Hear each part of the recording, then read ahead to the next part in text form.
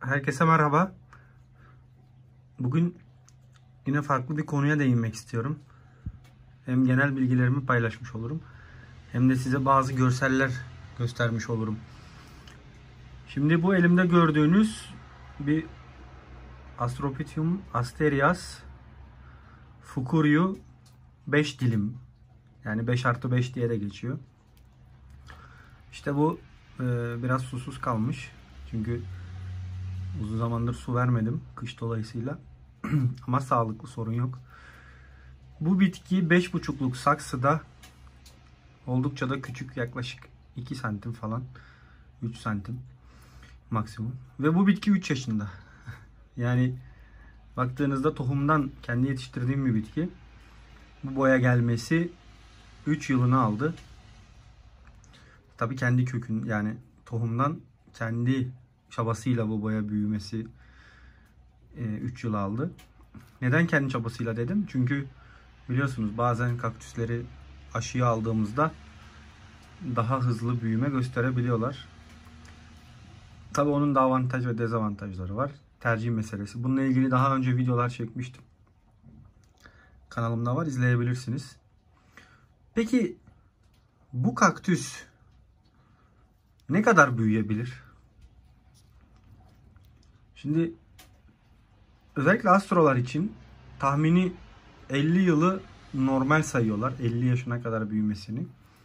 Tabi bu içinde bulunduğu koşulların optimum olmasını optimum koşullar oluştuğunda bu boyutlara geliyor. Tabi bitkinin genetiği daha önceki anne babası, ataları, e, onların genetik özellikleri bu süreyi etkiler. Aynı insanlarda olduğu gibi hastalanması, hastalanmaması vesaire gibi bir sürü faktör var.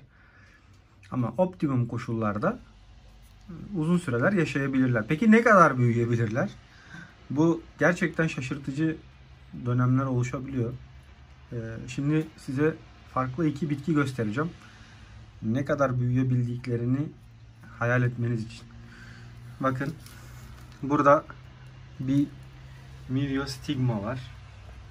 Ben size tahmini bir ölçüsünü vereceğim. Size onu şöyle göstereyim. Yaklaşık işte 14 santim falan. Yani şöyle düşündüğümüzde 14 santim bu da hemen hemen 12 santim falan. Tabi bunlar yani sadece genişlememişler. Bakın bu şekilde de büyümüşler. Ve aşıdalar. Görüyorsunuz.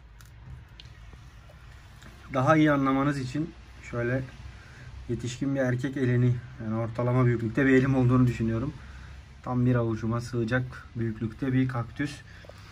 Ve sadece genişlik değil en boy olarak da çok hızlı büyümüşler. Yani çok fazla büyümüşler bu kaktüsler. Peki bunlar kaç yaşındadır?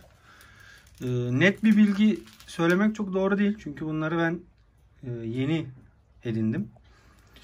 Ama burada tabi aşıda olmalarını unutmamak lazım. Çünkü bu bitki kendi tohumdan büyüseydi, kendi kökleriyle bu boyuta gelmesi benim tahminimce 20 yılı bulurdu diye düşünüyorum.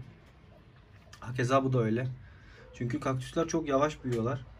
Ee, özellikle normal koşullarda bıraktığımızda herhangi bir takviye vesaire yapmadığımızda bu büyüme süresi daha da yavaşlıyor.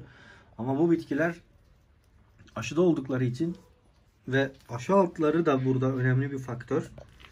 Bakın büyük geniş aşı altları e, büyümeyi çok pozitif teşvik ediyor.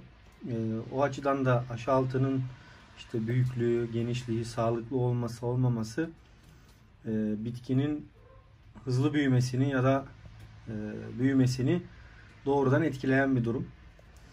E, bu açıdan baktığımızda bu kaktüsler aşıda olmalarına rağmen bence yine 7 yıl civarı olması lazım. Çünkü bu boya gelmeleri çok uzun sürer diye düşünüyorum. Aşıda olmalarına rağmen. Yani e, belki bunu bıraksak çok daha da büyüyecek. Yani bayağı 30-40 santimlik bir genişliğe de sahip olabilir. ve büyüdükçe de farklı şeyler de ortaya çıkarabiliyor. Tabii aşıda olmasının bir avantajı daha önceki videolarımı hatırlayın lütfen. Bol çiçek açacak. Koşulları da uygunsa, toprak yapısı da uygunsa bol çiçeklenme gösterip hızlıca hayatını devam ettirecek. Yani baktığınızda arkadaşlar özet olarak bir kaktüs gerçekten yani özellikle ilgilendiğimiz türler için bahsediyorum. Astrolar ve cimnolar ciddi boyutlara ulaşabilirler. Yani çok büyük boyutlara ulaşabilirler. Bakın burada yavruları görüyorsunuz. Onlar hala çok küçükler. Aşıya alsak tabii bu büyüme hızlanıyor. Ama e, bu bir tercih meselesi. Daha önce de söylemiştim. Şimdi bir de bir tane de cimno göstereyim size. İki tane göstereyim hatta. E, bunlar da yine tohumdan büyümüşler. Bakın onların da çapı gerçekten işte fena değil. Yine burada da çok büyük bir kaktüs. Şöyle gösterirsek. Yani e, büyümeleri zaman isteyen bir şey. Bazı arkadaşlar çok aceleci davranabiliyorlar. Hızlı büyümek istemeleri vesaire. Ama arkadaşlar şunu net söyleyebilirim. Özellikle bu kaktüs türleri çok yavaş büyüyen türler. Mesela ben bunu aldığımda 10 yaşındaydı. 2 yıldır bende. Bu bitki 12 yaşında arkadaşlar. Ama bu tohumdan büyüdü. Muhtemelen bunu aşıya alsaydık bunun 2 katı ya da 3 katı büyüklüğe ulaşabilirdi. Tabi sağlıklı büyütebildiğimiz koşullarda.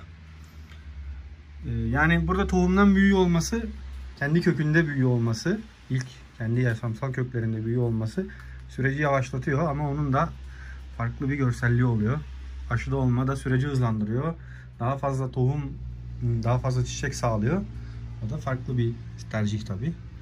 Ama kaktüsler gerçekten iyi bakılırsa ciddi boyutlara ulaşabiliyorlar. Özet olarak bunu söylemek istedim sizlere arkadaşlar. Kaktüslerinize iyi bakmaya çalışın. Çünkü onlar normalde bu coğrafyaların bitkileri değil biliyorsunuz. Türkiye'de yetişen kaktüs çeşitleri var tabii ki ama e, bizim ilgilendiğimiz çeşitler değil. Onların iklimsel istekleri de farklı. Toprak istekleri de farklı. Besin ihtiyaçları da çok farklı. Onlara iyi bakmak lazım. Eğer uzun yıllarca bizlerle kalmalarını istiyorsak.